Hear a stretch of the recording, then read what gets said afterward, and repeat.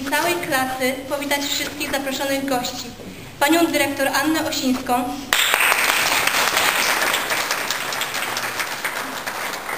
wychowawczynię Alicję Żak,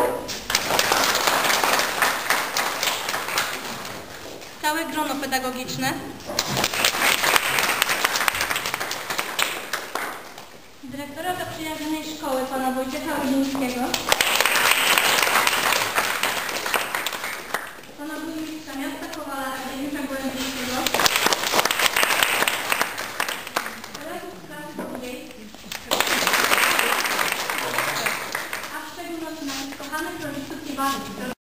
Tam pragniemy odnaleźć swoje własne miejsce. Niebywałość tego wieczoru sprawia, że wszyscy czujemy się wzruszeni. Każdy z nas pamięta moment, w którym po raz pierwszy przekroczyliśmy próg naszego liceum. Szybko minęły wspólne trzy lata. Za 100 dni przystąpimy do pierwszego i jakże ważnego w naszym życiu egzaminu maturalnego. Już dziś jednak nadeszła ta magiczna chwila, moment w życiu każdego z nas, w którym przepraszamy za nasze przewinienia i dziękujemy za wspólnie spędzony czas.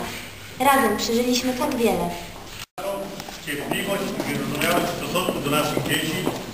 Dziękuję wszystkim pracownikom szkoły. Tak, coś się zaczyna i coś się kończy. Wszystko ma jakiś początek i zbiera się w jakimś punkcie. Nauka w liceum redakcji czeka je jednak ten wyjątkowy, bardzo Studniówka to tradycja spisana w kalendarz każdego licealisty.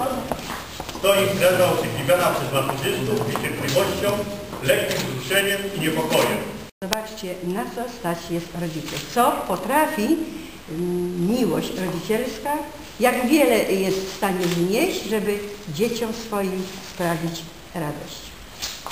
Moi kochani, y, mówi się, że oczy są zwierciadłem duszy. Ja patrząc dziś na wasze roześmiane y, twarze, na oczy otwarte szeroko, widzę, że i mam nadzieję, że i dusze też takie są.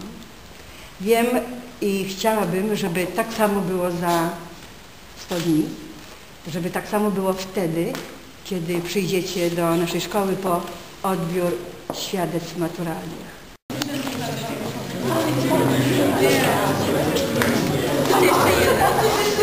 Jeszcze nie. Nie,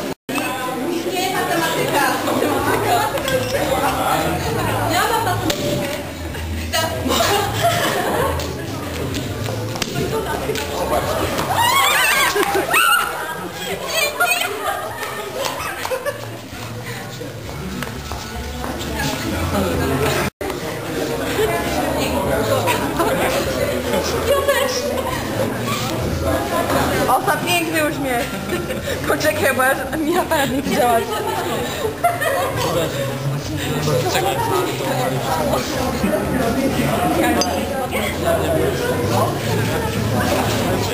Kiedy?